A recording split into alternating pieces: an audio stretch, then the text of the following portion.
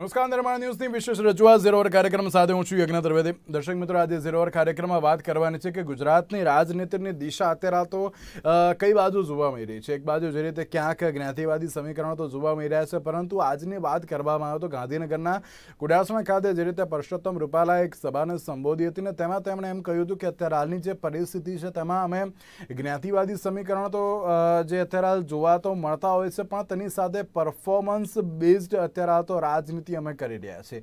ગુજરાતમાં પણ જે રીતે જે વિકાસ કરવામાં આવ્યો છે તેને અનુલક્ષીને જ અમે રાજનીતિ કરી રહ્યા છે. સાથે તેમના દ્વારા એમ પણ કહ્યું હતું કે જે રીતે વડાપ્રધાન નરેન્દ્ર મોદી જ્યારે ગુજરાતમાં મુખ્યમંત્રી હતા અને બે હજાર ચૌદમાં જ્યારે વડાપ્રધાન બન્યા ત્યારે તેમણે ગુજરાતથી જ પરફોર્મન્સ બેઝડ ઇલેક્શનની એક નવી શરૂઆત કરી હતી અને તે અત્યારે તો ક્યાંક વિકાસની પરિભાષા પણ આપ સૌને દેખાઈ રહી છે તેવું પણ તેમણે કહ્યું હતું. સાથે તેમણે એમ પણ કહ્યું છે કે ક્યાંક કોંગ્રેસે અત્યારે તો જે વંચિતો હોય કે ગરીબ હોય કે બધી શોષિત હોય તેનો વોટ બેંક તરીકે માત્ર માત્ર ઉપયોગ કર્યો છે, પણ તેની સાથે તેમણે અત્યારે હાલ ગરીબ હોય કે જે શોષિત કે પીડિત વ્યક્તિ હોય, તેમને કંઈ પણ આપ્યું નથી.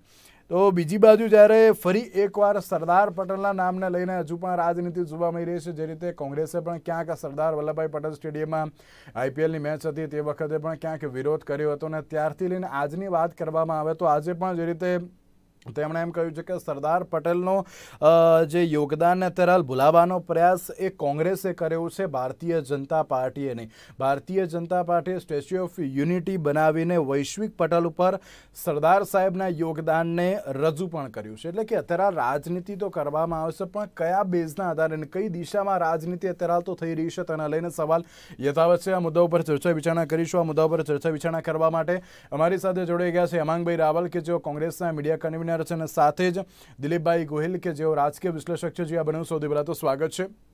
દિલીપભાઈ, સૌથી પહેલો પ્રશ્ન આપને કે જે રીતે મેં આજે એક સવાલ પણ એ જ કર્યો છે કે ગુજરાતની રાજનીતિની દિશા કઈ? પહેલાં તો આપણે ક્યાંક એક જ ચર્ચા કરતા હતા ને કે ક્યાંક જે ભારતીય જનતા પાર્ટીઓ કે કોંગ્રેસો કોઈ એક મુદ્દાને લઈને આક્ષેપ, પ્રત્યાક્ષેપ કરી રહ્યા છે. પણ અત્યારે જ્ઞાતિવાદી સમીકરણ નહીં, પરંતુ પરફોર્મન્સ બેઝડ રાજનીતિને અત્યારે વાત થઈ રહી છે. આપ તેને કઈ રીતે જોઈ રહ્યા છો? એવું થયું હોત તો બહુ સારું કહેવાય અને એવું થતું હોય તો એના જેવું તો ઉત્તમ એક પણ નહીં. પણ એ વાસ્તવિકતા છે કે એવું થતું નથી. પરફોર્મન્સના આધારે રાજકારણ ખેલા એ દિવસોની તો આપણે રાહ જોઈ રહ્યા છીએ કે સુવર્ણ યુગ આવશે ભારતીય લોકશાહીનો. કે જ્યારે સરકાર પોતાના કામ પર મત માગે અને કામ પર મત મળે. એવું થઈ રહ્યું નથી. બહુ બધા એના કારણો હોય છે અને એ કારણોને આધારે ચૂંટણી લડાતી હોય છે. માત્ર જ્ઞાતિવાદને આધારે ચાલે. જ્ઞાતિના સમીકરણ, નાના નાના સમીકરણો તમારે જોવાના હોય છે. પણ એ બધી જ પાર્ટીઓ એવું કે અમે તો જ્ઞાતિવાદમાં માનતા નથી ને એક એક પગલું જ્ઞાતિવાદને ધ્યાનમાં રાખીને થતું હોય છે. આપણે બહુ જાણીએ છીએ. હવે બધા વોટ બેંકની વાત કરે તો પોતાની બધાની વોટ બેંક છે સોલિડ વોટ. આજે ભારતીય જનતા પક્ષની પોતાની સોલિડ વોટ બેંક થઈ ગઈ છે. અને બધા પક્ષો કરતા સોલિડ થઈ ગઈ છે. બાકીના પક્ષોની વોટ બેંક છે, આગળ પાછળ થયા કરે છે. પણ ભાજપની તો એકદમ સોલિડ કઈ પડે બસો રૂપિયાનો પેટ્રોલ થાય તો આપીશું. પણ મત ભાજપને આવીશું એવી સોલિડ વોટ બેંક હોય, એ પક્ષની ક્યાં ચિંતા કરવાની હોય? અને જો પરફોર્મન્સની વાત કરવાની હોય, તો પરફોર્મન્સ તમારે એ કરવું પડે કે ઇન્ફ્લેશનનો દર ક્યાં પહોંચ્યો? પેટ્રોલમાં બે વાર દસ દસ રૂપિયા ઘટાડે તોય પાછા વધી વધીને સો ની પાસે પહોંચી જાય. તેલના ડબ્બાનો કેટલો ભાવ છે, ગૃહિણીઓ જાણે છે આપણા કરતા વધારે. સારી રીતે. લીંબુ ના ભાવ ક્યાં ક્યાં જાય, ટમેટાના ભાવ ક્યાં ક્યાં જાય? બેકારીનો દર છે એ ઊંચો જતો જાય. એટલે આ પરફોર્મન્સ આ બધું ન ગણાય આ બી પરફોર્મન્સમાં જ આવે ને. બે રોજગારી ઊભી કરવી એ મોટા મોટું પરફોર્મન્સ છે. મહેંગાઈને મોંઘવારીને કાબુમાં રાખવી એ સૌથી મોટું પરફોર્મન્સ છે. હવે એમાં તો સરકાર આંકડા કઈ છે. આરબીઆઈ ના ગવર્નરે આવીને કેવું પડ્યું કે હવે અમે પોઈન્ટ ચાલીસ બેઝિસ નો વ્યાજ દર વધારીશું. કારણ કે મોંઘવારી ઇન્ફ્લેશન, અંગ્રેજીમાં ઇન્ફ્લેશન કહો, ગુજરાતીમાં ફુગાવો કહો ને આપણી ભાષામાં મોંઘવારી કહો, એ મોંઘવારી વધી રહી છે, તેને કાબુમાં લેવાની છે. તો આ તો સત્તાવાર આરબીઆઈ કબૂલ કરેલું છે. આપણે કદાચ બોલીએ કે ન બોલીએ તો પણ. તો એ પરફોર્મન્સમાં જ આવે છે. બીજું કેટલાક એવા આંકડા છે, જે બહુ ચિંતા કરાવડા એવા છે. દાખલા તરીકે ટુ વ્હીલરનું વેચાણ બહુ વખતથી ઘટ્યું છે. એ બહુ ચિંતાનું કારણ છે. એનું સીધું ઇન્ડિકેશન એ છે કોઈ નવા યુવાનને નોકરી મળી નથી રહી. નોકરી મળે તો તમે મોટરસાયકલ લો. કારનું વેચાણ કોવિડ પછી વધ્યું કારણ કે પૈસા વાળા છે. એને જૂની કાર થઈ હોય, ઘસારો મળી ગયો હોય, નવી કાર લેવાની હોય તો લઈ લે. એનાથી કઈ ઇન્ડિકેશન મળતું નથી. મોટરસાયકલ કોઈ શોખ માટે ન લે. મોટરસાયકલ તમારા ઘરમાં છોકરાને નોકરી મળે ત્યારે એને મોટરસાયકલ લઈ દેવામાં આવે. એ નથી એનું વેચાણ વધી રહ્યું. એનો મતલબ કે બેકારી વધારે છે, રોજગારી નથી મળી. એટલે પરફોર્મન્સની વાત કરવી હોય તો આની પણ આ પણ વાત કરો, બાકી રસ્તા બનાવવા, પાણીની વ્યવસ્થા કરવી, ગેસના બાટલા આપવા, એ બધી સારી વસ્તુ છે. આપણે એનું ના નથી કરતા. જેને પણ મળ્યા એને સારું છે. પણ એ તો એક તબક્કાવાર ચાલતું જ હોય છે. દર વર્ષે તમારું જે બજેટ હોય, એમાંથી તમારે કેટલાક ટકા શિક્ષણમાં જાય, કેટલાક આરોગ્યમાં જાય, કેટલાક રોડ રસ્તા માટે જાય, કેટલાક મેન્ટેનન્સ માટે જાય, કેટલાક સિંચાઈ માટે જાય કેટલાક સામાજિક કલ્યાણ માટે કેટલાક બાળ કલ્યાણ માટે જાય છે. તો વપરાતા જ હોય છે. એમાં દર વર્ષે થોડી ટકાવારીમાં વધારો થતો રહે. એ કઈ પરફોર્મન્સ નથી, એ તો બેઝિક બેઝિક એડમિનિસ્ટ્રેશનનું કામ છે. સરકારે એક રાખવાની છે અને એડમિનિસ્ટ્રેશન એનું કામ કરવાનું છે. એટલે આપણે તો ઈચ્છીએ, આવકારીએ છીએ.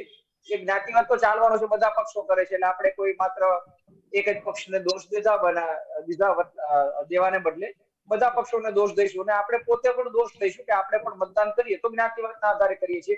પણ પરફોર્મન્સની વાત થતી હોય તો આપણે આવકારીએ છીએ. માત્ર ને માત્ર પરફોર્મન્સની ચર્ચા કરો બધાનો ફાયદો છે.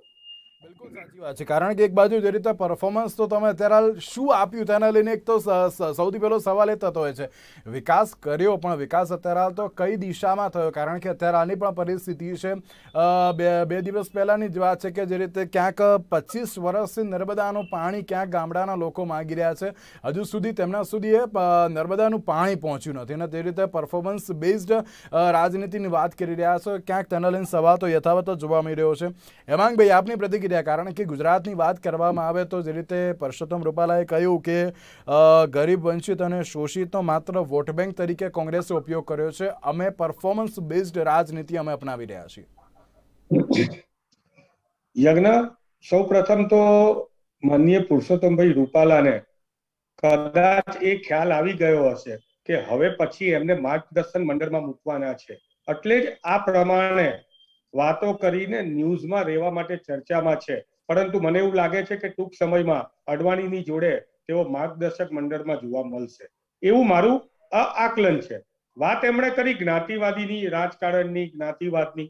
જ્ઞાતિવાદ રાજકારણ એ ના હોવું જોઈએ, પણ દરેક જ્ઞાતિને પ્રતિનિધિત્વ આપીને, દરેક જ્ઞાતિને ન્યાય આપવો એ જે છે એ તો આપણી બંધારણ મુજબની વાત છે. નાનામાં નાના વ્યક્તિને નાનામાં નાની જ્ઞાતિને અને ખાસ કરીને પુરુષોત્તમભાઈ રૂપાલાને કોંગ્રેસની સાથે ગરીબો, વંચિતો અને શોષિતો જે હંમેશા એમની સાથે રહ્યા છે.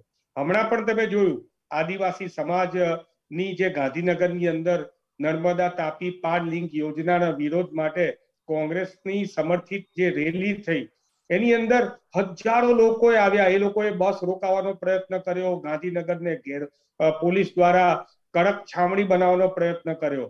છતાં પણ હજારો લોકોએ આવીને પોતાનો વિરોધ પ્રદર્શન બતાવ્યો. આ વિરોધ પ્રદર્શન બાદ ભારતીય જનતા પાર્ટીની સરકારે જેમ ખેડૂતોના કાળા કાયદા પાછા લીધા એમ નર્મદા તાપી પાળ લિંકને યોજનાને સ્થગિત કરવી પડી. ત્યારબાદ રાહુલ ગાંધીજી આવ્યા, આદિવાસીનું મહા આંદોલન કર્યું અને રાહુલ ગાંધીજીના આવ્યા બાદ ભારતીય જનતા પાર્ટીની સરકારે આ સ્થગિત થયેલી યોજનાને રદ કરવી પડી.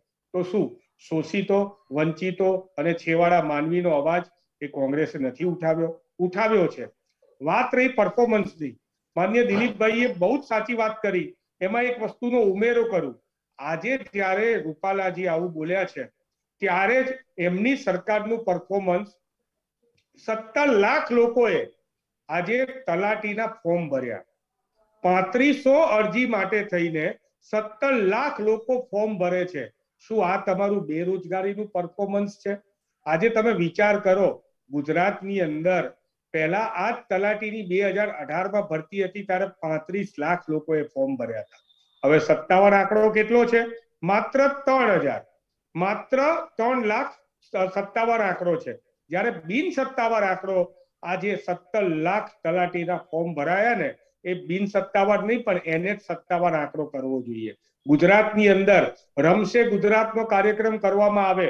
પરંતુ પંદર પંદર વર્ષથી વ્યાયામ શિક્ષકોની ભરતી ના થાય. ગુજરાતની અંદર વાંચે ગુજરાતનો કાર્યક્રમ કરવામાં આવે. પરંતુ પંદર પંદર વર્ષથી એ લાઇબ્રેરીની એટલે કે વાંચલારીના ગ્રંથાલયની ભરતીઓ ના કરવામાં આવે. હજી પણ તમે મલ્ટીપર્પઝ હેલ્થ વર્કરની ભરતીઓ અટકેલી છે. હજી પણ મેડિકલ પેરામેડિકલની ભરતીઓ અટકેલી છે. ગ્રામ સેવકની જાહેરાત થઈ ચાર ચાર વર્ષથી. એની ભરતીઓ અટકેલી છે. અને તલાટીની વાત છે, ત્યાં સુધી ગુજરાતમાં સાત હજાર એકસો ને સમથિંગ તલાટીની મહેકમની અંદર પાંત્રીસો મહેકમ જ્યારે તમે ભરી રહ્યા હોય, ત્યારે પણ સત્તર હજાર ગામડા દીઠ અત્યારે માત્ર પાંચ, એક ગામ દીઠ, પાંચ ગામ દીઠ એક તલાટી જ્યારે કામ કરી રહ્યો હોય, તો ગ્રામની સેવા કેટલી કથરી ગઈ હોય. એ તમને ખ્યાલ આવવો જોઈએ. એટલે જે પરફોર્મન્સની વાત કરે છે, એ વાત અને ગુજરાત સરકારના આંકડાઓ કે જેની અંદર ચાલીસ લાખથી વધારે લોકો બેકાર સ્ટાર્ટઅપની પરિસ્થિતિ એકદમ બિસ્માર, ગુજરાતની અંદર યુવાનો તો બેરોજગાર છે જ. જેમ દિલીપભાઈએ વાત કરી એમ તેલના ડબ્બો ત્રણ ત્રણ હજાર સુધી પહોંચી ગયો. લીંબુના તમારે બસો રૂપિયા કિલો, વીસ રૂપિયાનું એક લીંબુ આ ગરમીની અંદર મળે. આવી પરિસ્થિતિ જ્યારે હોય ત્યારે પરફોર્મન્સની વાત કરવાનો અધિકાર પણ ભારતીય જનતા પાર્ટીના કોઈ નેતાને ના હોવો જોઈએ. બિલકુલ, પણ અત્યારે ક્યાંક જ્યારે પરફોર્મન્સની વાત થતી હોય ને તેમાં પણ અત્યારે તો પરફોર્મન્સ કયા પ્રકારનું પરફોર્મન્સ તેના લઈને પણ એક સવાલ તો યથાવત જોવા મળતો હોય છે. એમાં ભાઈ આપણે હજુ એક સવાલ. કે ક્યાંક જે રીતે કોંગ્રેસને એક જે વાત કહેવામાં આવી હતી કે ના, કોંગ્રેસે ગરીબો અને વંચિતોનો વોટ બેંક તરીકે ઉપયોગ કર્યો છે. આપ તેને કઈ રીતે જોઈ રહ્યા છો સાથે? ગરીબો વંચિતો અને શોષિતો માટે કોંગ્રેસે જે કરેલું છે, એના જ ફળ સ્વરૂપે આજે જે કંઈ પણ અત્યારે તમે જોઈ રહ્યા છો અને એમની લડાઈ જે છે, એ કોંગ્રેસ લડી રહી છે. અને એ લડાઈ જે છે, એ લડવા માટે આગળ પણ કટિબદ્ધ છે. તમે જુઓ, આજે ભારતીય જનતા પાર્ટીથી કોણ નારાજ નથી?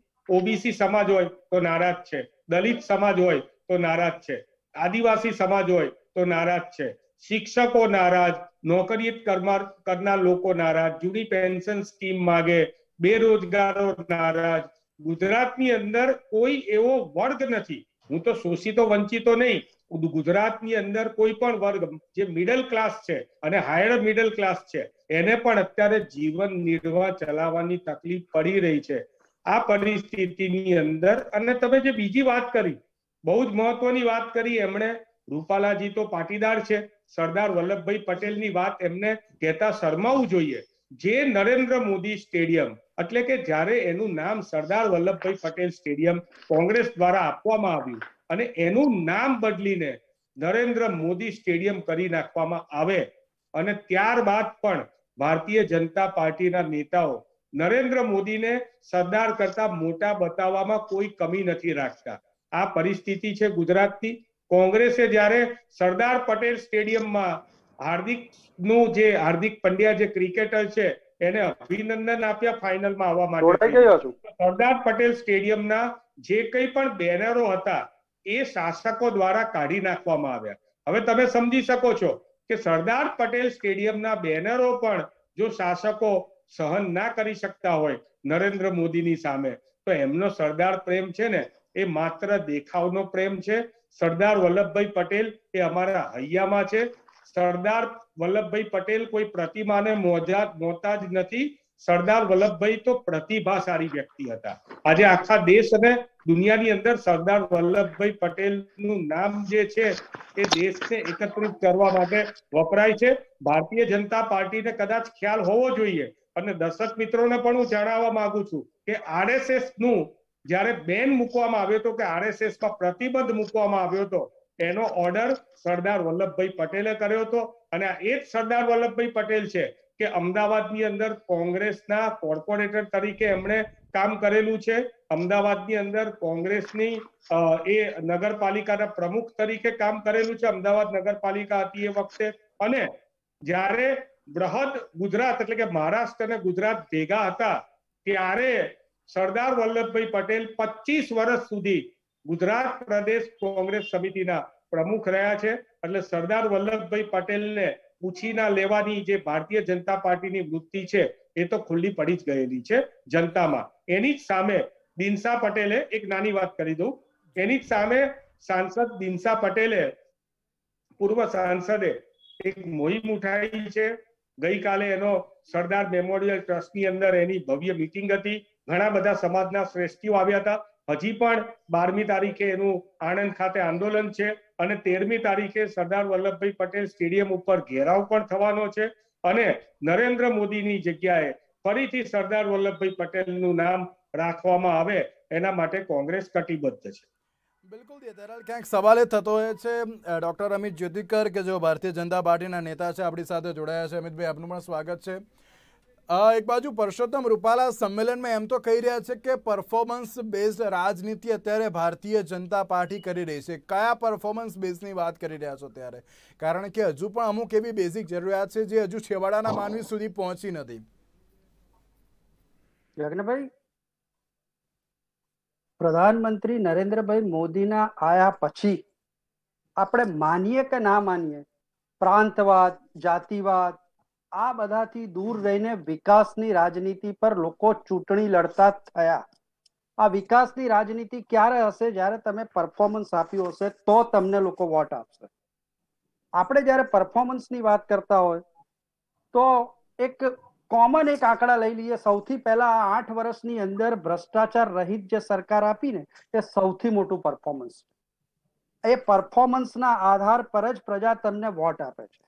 પ્રધાનમંત્રી કિસાન યોજનાની અંદર બાર કરોડ ખેડૂતોને છ હજાર રૂપિયા આપવાની વાત હોય પિસ્તાળીસ કરોડ જનધન યોજનાની વાત હોય અગિયાર કરોડ શૌચાલય બનાવવાની વાત હોય આ આ બધીની વાત કરીએ આ તો બધી ઉજ્જવલા યોજના છે નલથી જલ છ કરોડથી વધુ નલથી જલ યોજના છે આયુષ્યમાન યોજનાની અંદર એમ સાડા ત્રણ કરોડથી વધારે લોકોએ લાભ લીધો. નલથી જલ યોજનાની વાત કરી ને એમાં અમે અમિતભાઈ હમણાં બે બે ત્રણ મિનિટ પહેલા જ મેં વાત કરી.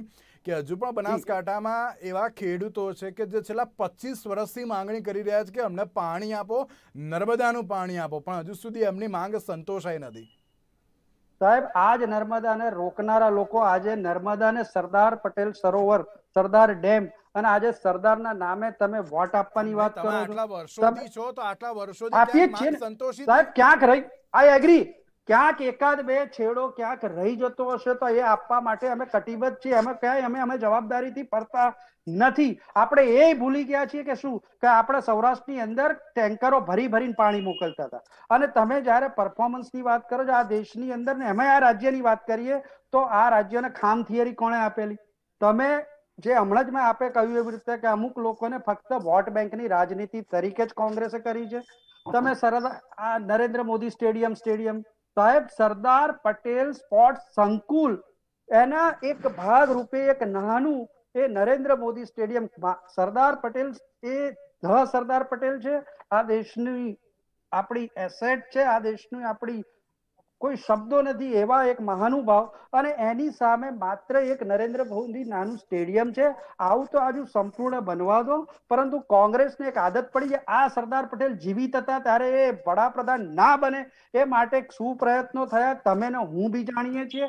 આ કોંગ્રેસ કે જે ઓગણીસો ની અંદર કોંગ્રેસની પહેલી ગવર્મેન્ટ આવી, જેની અંદર એક પણ દલિત તમે મંત્રી તરીકે ના લીધો અને એના માટે દલિતોએ મેદાનમાં આવવું પડ્યું અને ત્યારબાદ ડોક્ટર ભાનુશંકર ભાનુશંકર પંડ્યાને એ લોકોએ મંત્રી બનાવવા પડ્યા. એટલે આ તમે જયારે પ્રાંતવાદની તમે જયારે જયારે મેરિટની વાત કરતા હોય ને ત્યારે આ બધું વસ્તુઓ ધ્યાનમાં રાખવી જોઈએ. મેરિટ છે માટે સત્યાવીસ વર્ષથી ભાજપનું શાસન છે. ચોત્રીસ પોઈન્ટ તેત્રીસ ચોત્રીસ પોઈન્ટ તેત્રીસ કરોડ લોકોને મુદ્રામાંથી લોન આપી હશે. એટલે આ ઉપરાંત તમે જયારે રોજગારીની વાત કરતા નહીં નહીં નહીં, હા, રોજગારી, બસ હું એની ઉપર જ આવવા માગું છું. હમણાં જે રીતે અમે ચર્ચા કરી અમે કે જે ચોત્રીસો જેટલી જગ્યા માટે અત્યારે સત્તર લાખ લોકોએ સત્તર લાખ ઉમેદવારો ફોર્મ ભર્યા છે. હવે ક્યાંક રોજગારીને લઈને પણ તેમાં પણ પ્રશ્ન થાય જ છે ને. રોજગારી એટલે ગવર્મેન્ટ જોબ એવી જ આપણી ડેફિનેશન હોય છે. આ રોજગારી હશે તો જ તમે કોરોના કાળની અંદર આપણે ગાડીઓ ભરી ભરીને જે મજૂર હતા જે આપણા શ્રમ હતા જે કારીગર હતા એ અહીંથી ગયા. એટલે વિવિધ રાજ્યોના લોકો અહીંયા આયા હશે રોજગારી મળતી હશે તો આયા હશે ને? એક જ મિનિટ આપને રોકવા માંગુ ચાલો એક જ મિનિટ આપને રોકવા માંગુ જી અમાંગ આપ કઈ કહી રહ્યા છો? જી રોજગારીને લઈને. ડોક્ટર અમિત જ્યોતિકર મારા સારા મિત્ર છે, પરંતુ મારે એમને કહેવું છે કે આ ગુજરાતની અંદર તમે જ્યારે દલિત અને શોષિતને વંચિતોની વાત કરો છો, તો વારંવાર દલિતોને ઘોડે ચડવા ના દેવાય, એવા કાર્યક્રમો થાય છે. દલિતોને મંદિરમાં આવવા ના દેવાય, આવા કાર્યક્રમો થાય છે. અને તમે બધા તમારી સરકાર જે છે, એને મુખ પ્રેક્ષક બનીને જોઈ રહી છે. આ એક જિજ્ઞેશ મેવાણી કે જે દલિત અને શોષિત અને વંચિતો માટે જ્યારે લડાઈ લડી રહ્યા છે, ત્યારે એમને અડધી રાત્રે એક નાનકડી એવી ટ્વીટ ઉપર આસામની પોલીસ અહીંથી ઉઠાવી જાય છે. આસામની પોલીસ ત્યાં ઉઠાવીને ત્યાં એમને જ્યારે જામીન મળે છે ત્યારે ફરીથી ખાલી ખોટા બીજા કેસોની અંદર ફસાવી દેવામાં આવે છે. એટલે ગરીબો દલિતો શોષિતો અને વંચિતો માટેની વાત મહેરબાની કરીને ભારતીય જનતા પાર્ટીના પ્લેટફોર્મ ઉપરથી કોઈ કરે તો એને આંખો ઉગાડવા જેવી છે.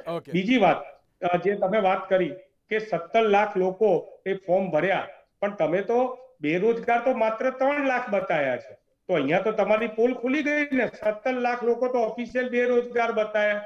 તમે છેલ્લા બે વર્ષની અંદર વિધાનસભામાં આંકડા આપ્યા છે કે સરકારી નોકરી એક હજાર બસો ને એસી સમથિંગ લોકોને મળી છે. ભલે તમે સરકારી નોકરી એવું કહો છો કે અમે બધાને ના મળે, પણ જે મેકમ ખાલી છે, તલાટીની અંદર અઢાર હજાર ગામડા છે તો અઢાર હજાર તલાટી તો આપો. અત્યારે સાડા ત્રણ ચાર હજાર તલાટી એ કામ ચાલે છે.